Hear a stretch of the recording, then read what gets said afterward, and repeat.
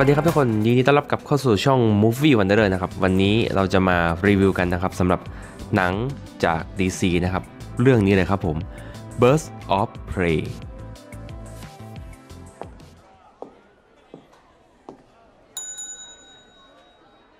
Can I help you? Why, yes, yes, you can. I'm here to report a terrible crime. And what terrible crime is that? This one.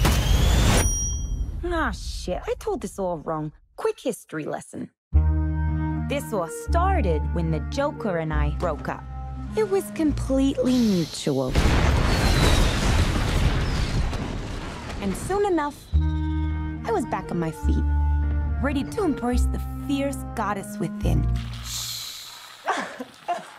It's oh so quiet. Now that I cut ties with Mr. J, I'm about to learn that a lot of people want me dead. All alone And at the top of that list is this guy. and so peaceful. Um, But it turns out that wasn't the only dame in Gotham looking for a man. Birds of Prey and the Fabulous Emancipation of One Harley Quinn นะครับ ชื่อเต็มๆของหนังเรื่องนี้นะครับ เกลียดมากครับทำไมต้องตั้งชื่อ ให้มันลำบาก ลำบนขนาดนี้นะครับ เป็นหนังอเมริกันซูเปอร์ฮีโร่นะครับ แต่ว่ามันเป็นเหมือน อ่า เป็นแบบอันชาย เป็นแอนตี้ฮีโร่อย่างเงี้ย เพราะว่าเขาไม่ได้เป็นฮีโร่สักขนาดนั้น ฮีโร่จ๋า แต่ลมณ์แบบรวมรวมดาวไลน์อะไรประมาณนี้นะครับ ซึ่งอ่าเรื่องนี้เป็นโปรเจกต์ของ DC นะครับ หลังจากที่ก่อนหน้าเนี้ยเขาทำโปรเจกต์ Suicide Squad มาแล้วนะครับ แล้วก็อืมหนังก็ออกมา ผมว่ามันไม่สนุกอะ แต่มันก็ไม่ได้แย่ขนาดนั้นใช่ไหมครับ ซึ่ง Birds of Prey เพิ่งเข้าไปเมื่อวันพฤหัสที่แล้วนะครับ แล้วก็ผมมีโอกาสได้ไปดูมาในโรงก็เลยรีบมารีวิวเลยนะครับ เรื่องย่อก็คือว่าอ่าหลังจากที่ตัวฮาร์ e ย์ควินเนี่ยครับได้เลิกกับโจ๊กเกอร์แล้วใช่ไหมเขาก็แยกทางกันแต่แล้วเขาก็เหมือนมีศัตรูเป็นคนทั้งเมืองนะครับ แล้วก็ดันไปมีศัตรูคนใหม่ด้วยนะครับ เป็นอ่า Black Mask นะครับ เป็นอ่า โรมันนะครับซึ่งได้รับบทโดย Ewan McGregor นะครับอาจจะจะพูดถึงนักแสดงคนนี้กัน ซึ่งฮาร์ e ย์ควินนะครับก็คนเดิมนะครับได้ Margot Robbie นะครับกลับมารับบทเป็นฮาร์ e ย์ควินอีกครั้งนะครับหลังจาก Suicide Squad แล้วก็จริงๆนางเป็นคน Aussie นี่แหละนะครับมาจากควีนส์แลนด์นะครับก่อนหน้านี้ก็มีผลงานมาเยอะเนาะพอมาแสดงบทใน Suicide Squad เนี่ยพอได้รับบทเป็นฮาร์ e ย์ควินเนี่ยก็เหมือนกับเปรี้ยงปร้างมากแจ้งเกิดเลยนะครับด้วยความที่ จิตๆหน่อยๆนะ แล้วก็แสดงได้เข้าถึงบทบาทมาก ซึ่งใน Birds of Prey เนี่ยเธอเป็นตัวหลักเลย เป็นเหมือนเป็นแกนหลักของเรื่องครับ แล้วก็เรื่องทั้งหมดเนี่ยจะหมุนรอบตัวของ Harley Quinn นะครับ มันเริ่มมาจากหลังจากที่เขาเลิกกับโจ๊กเกอร์ใช่ไหม เขาก็เหมือนสติหลุดอะแบบไปทำเรื่องนู่นนี่นั่นอย่างเงี้ย หาศัตรูมาเยอะ ก็เกือบจะโดนฆ่าตาย แล้วก็สุดท้ายก็กำลังจะโดนฆ่าแล้ว ก็เลยแบบไปต่อรองกับไอตัว Black Mask ว่า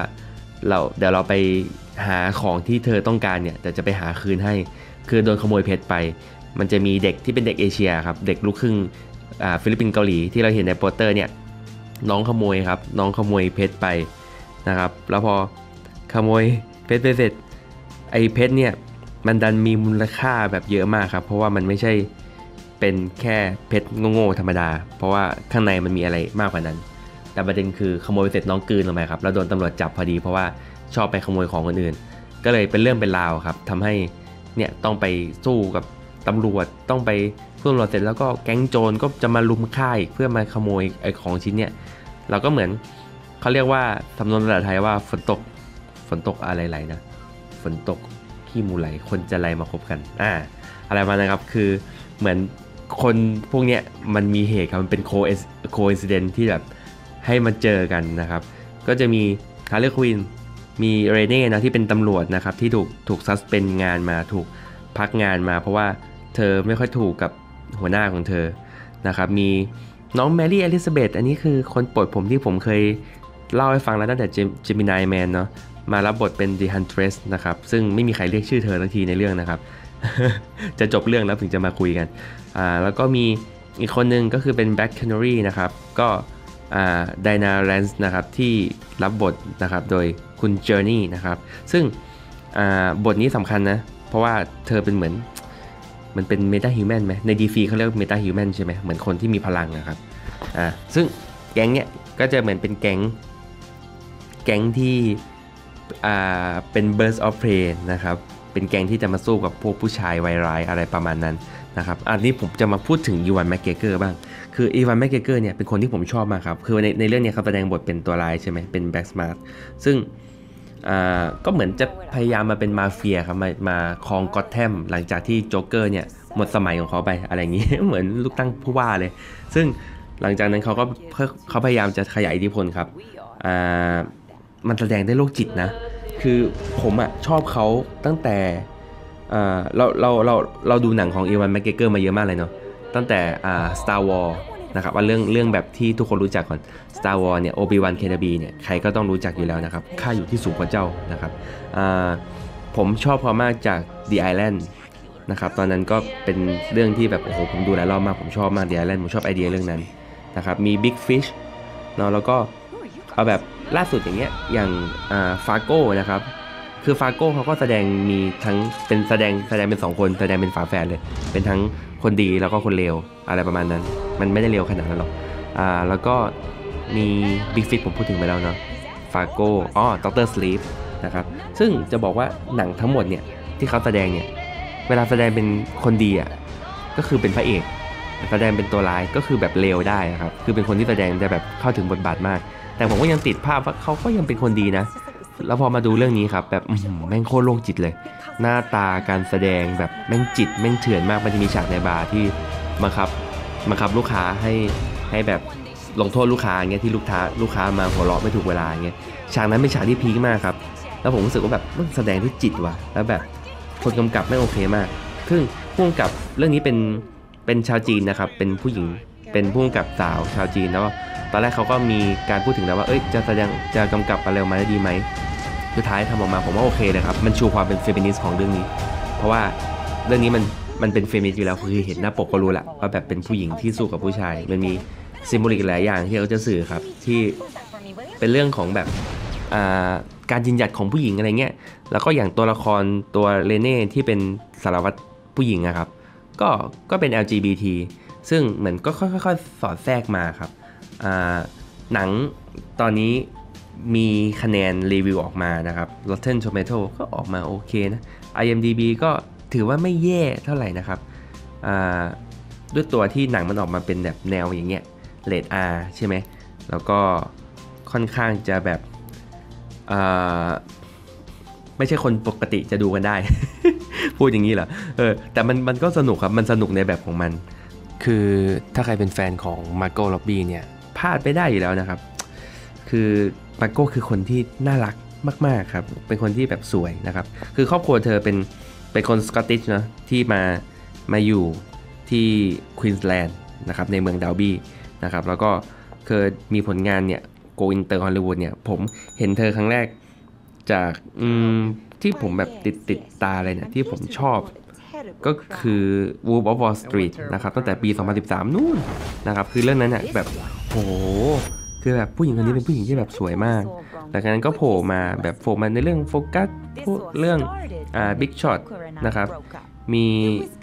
อีกอันหนึงที่สวยมาก ๆ เลย ก็คือแสดงเป็นเจนใน Legend of Tarzan